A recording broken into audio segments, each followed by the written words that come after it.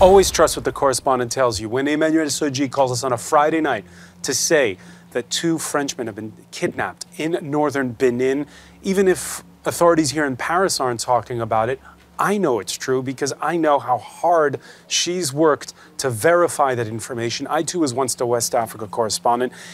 And uh, you wouldn't believe the amount of information, true or false, that people throw your way that you then have to check and double check. A more recent example uh, there were the news agency wires talking about a massacre in Mali. Our correspondent Christelle Pierre, calls up, says, Wait before you give the toll. I'm still fact checking it.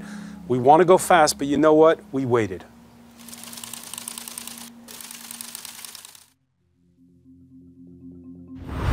Liberté, égalité, actualité.